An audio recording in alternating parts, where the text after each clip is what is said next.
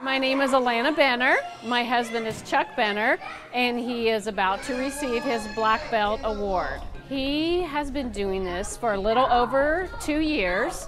Uh, he got started um, from a passion that he wanted to do, and our son started college, so it was time to do something for himself. And I encouraged him to, and so he did. There was a lot of difficulty, and only in the sense of being older, um, injuries, um, a lot of muscle soreness, and a lot of ice packs.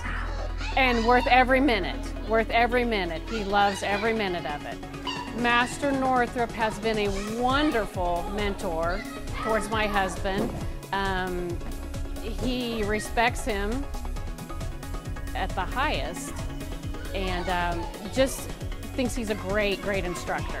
Thank you, thank you, thank you so much for training my husband, teaching him, encouraging him, and always being willing to answer questions or offer help when it's needed.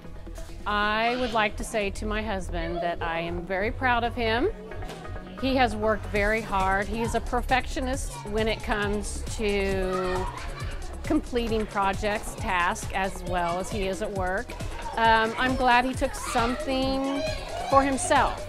He doesn't do things for himself. He makes sure that his family has first and foremost.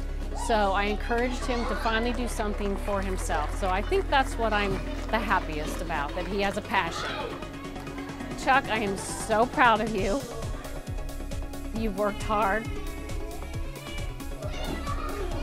You're a good husband and you're a good man.